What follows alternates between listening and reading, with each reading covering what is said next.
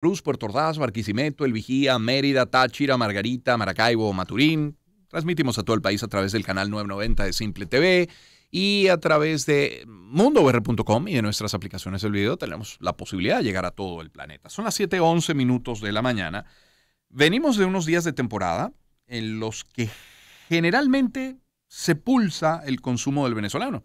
Navidad es un ejemplo, Semana Santa es otro, las vacaciones escolares Carnavales también, menor medida, pero también lo es. Y es una foto la más vigente o reciente. Eh, hemos escuchado un audio exclusivo para nuestro programa de Leudo González de Conceturismo, presidente de Conceturismo, calificando esta temporada que termina como buena temporada de carnavales. En las playas del litoral central, en estados costeros como Nueva Esparta, se registraron temporadistas, habló de ocupación. Eh, sin embargo, no pasa de ser bueno probablemente no era lo que esperaban algunos de esta temporada. Bueno, es eh, un punto de inicio para nuestra conversación de hoy, para nuestra agenda económica de hoy. Ecoanalítica.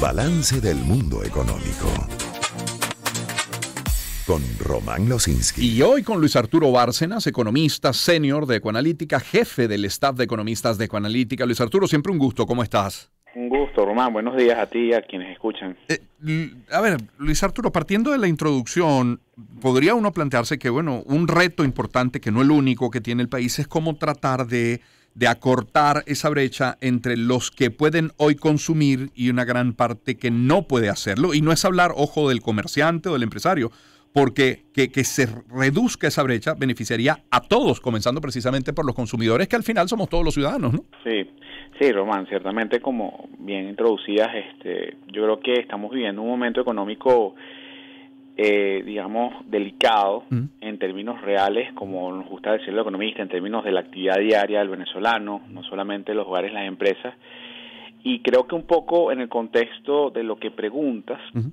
tal vez el, el, el, factor fundamental detrás de todo este comportamiento y, y, el, y el clave, obviamente, para mejorar la calidad de venezolano, sobre todo de manera más transversal a la población, es el tema precio sin lugar a dudas. no Creo que lo que tú mencionabas tiene que ver mucho con lo que está ocurriendo en ese sentido, en ese ámbito, desde, bueno, de lo que sabemos ya desde octubre para acá, eh, de hecho, nosotros teníamos esa visión también en cuanto a lo que era el, el, tema turismo, ¿no?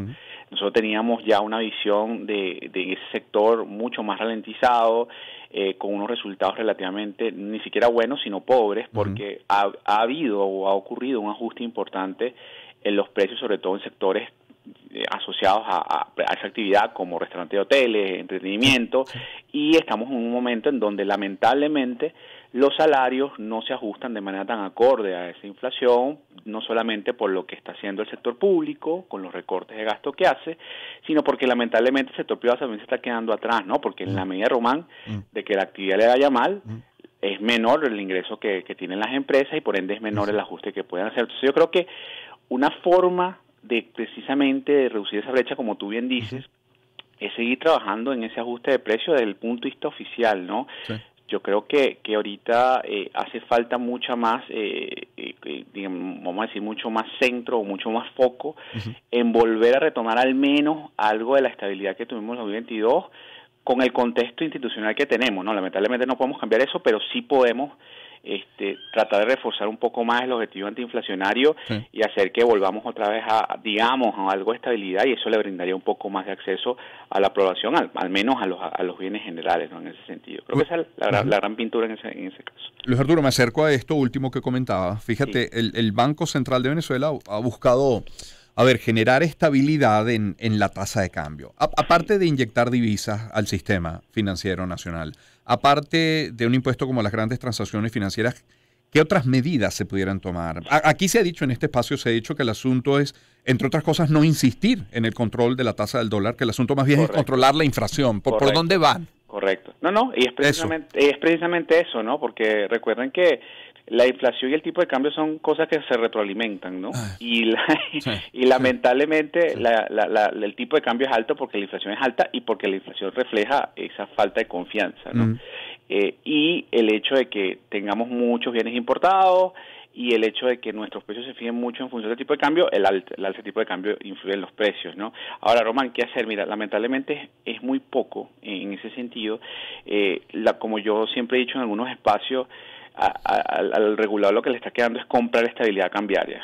O sea, comprar en el sentido de lanzar una cantidad a veces eh, inaudita de dólares a la calle de manera muy puntual para tratar de controlar el tipo de cambio, ¿no? Y eso se ha afectado mucho con lo que está ocurriendo en materia externa, con el decepcionante resultado que hemos visto en materia petrolera. Lamentablemente, creo que dependemos mucho más del petróleo, hoy más que nunca, a pesar de la visión oficial. Y creo que allí, digamos, bueno, eh, Luis está hablando mucho, pero ¿qué, qué, qué, hacer, no?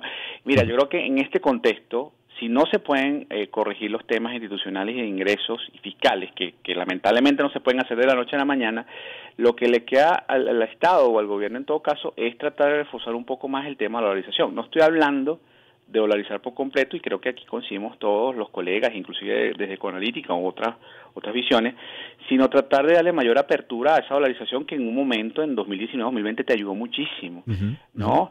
Este creo que el, el, tema del impuesto, que por cierto eh, dentro de poco se cumple un año para el vencimiento de las exenciones, ha hecho mucho daño al negocio, no solo en términos de disponibilidad de divisas, del costo que eso le genera las transacciones nacionales, sino el costo que genera en términos reales. O sea, a una persona hoy en día le es más difícil ahora usar divisas para pagar.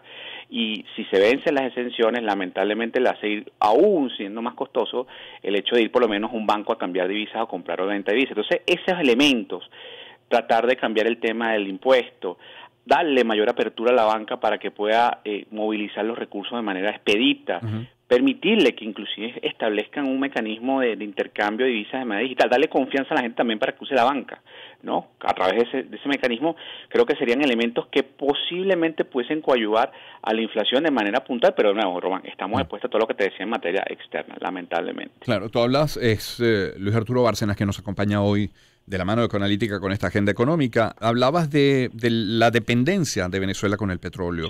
Ah, yo quiero volver al inicio de la conversación cuando mencionaba el, tema turismo.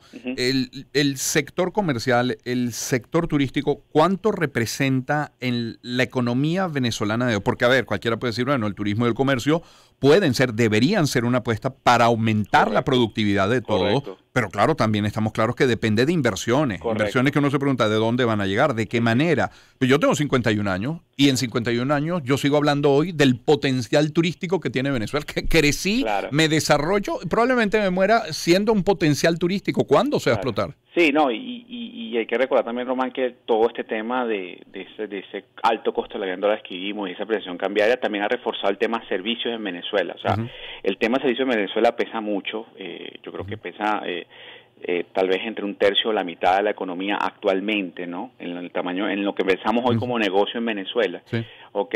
Obviamente el sector turismo eh, es un sector explotable y es, por, digamos, eh, por, por definición un, sector que puede ser mucho más, digamos, desarrollado, ¿no? Sobre todo por, como tú bien decías, un poco la riqueza natural que tiene Venezuela en ese sentido, ¿no? Más allá de tener petróleo, también tenemos una visión turística. El problema nomás es que allí la gran dificultad yo creo que son dos, ¿no? La primera es la falta de financiamiento que incluso cuando el, crédito en Venezuela era relativamente menos escaso que antes, que, hoy en día, perdón, eh, el tema turístico en materia de financiamiento está dejado de lado porque tenía unas características muy particulares, porque era muy difícil financiarlo y había escasez de proyectos. Creo que tú en ese sentido este, diste un poco en el clavo. ¿no? Entonces creo que allí hace falta una promoción mayor. Obviamente en las condiciones actuales probablemente no sea tan así, no, no, no pueda darse. Pero ciertamente la falta de financiamiento, haya o no proyectos, es importante. Y la otra tiene que ver mucho con el costo de la vida en dólares. O sea, lamentablemente normal es una realidad para todos, inclusive para los venezolanos que tenemos los recursos allí mismo, tenemos nuestras playas, tenemos, eh, digamos, la selva, etcétera, etcétera. Para nosotros es muy costoso, muy costoso eh, eh, hacer turismo en Venezuela, en comparación a otros países, ¿no? O sea, cualquiera te lo puede decir, en una isla del Caribe es mucho más barato hacer turismo que, que Margarita, por ejemplo.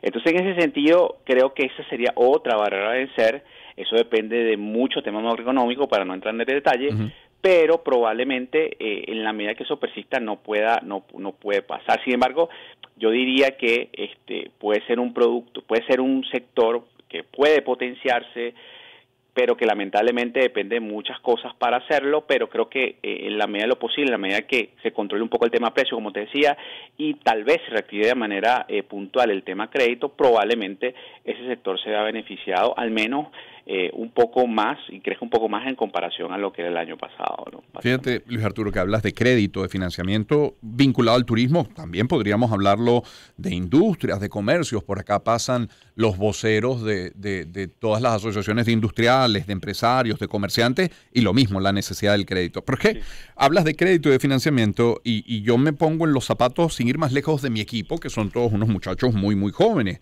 Un joven, un recién casado, probablemente tenga como ilusión comprar algo suyo propio, un vehículo, una vivienda, ¿no? Correcto. Y esa falta de créditos le aleja. Tú, hablando de lejanía y de distancia, ¿ves lejos, ves cerca la posibilidad de que el crédito regrese a Venezuela? Más allá de la reciente autorización del Ejecutivo, quiero es decir. Así, es así.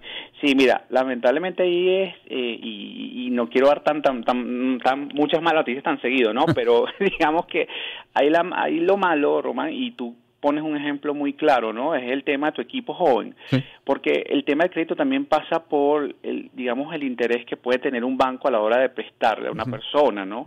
Entonces, en el caso de una empresa y en el caso de una empresa venezolana, para la banca, con las restricciones que tiene hoy en día, le es menos difícil, por ponerlo de esa forma, prestarle a una empresa que a una persona, porque esa empresa genera mucho más ingresos o, de manera mucho más recurrente. Eso es lo que decimos los economistas, capacidad de repago, capacidad de volverle la plata al banco, básicamente. Y eh, eh, en un entorno en donde lamentablemente la población joven puede tener hoy en día, en comparación a hace dos años, un espacio de, desarrollar sus actividades, de ganar un poco más, eh, de hacer carrera en el país, que todavía se puede hacer carrera en el país, este, lamentablemente en estos momentos las personas en promedio, sobre todo los más jóvenes, no tienen la capacidad que antes tenían para reponer ese crédito. Entonces, si bien pueden reactivarse esos créditos, lamentablemente los últimos de la fila en ese caso pueden ser los créditos a consumo en general, sobre todo para las personas que están empezando. Entonces, creo que eh, en ese sentido...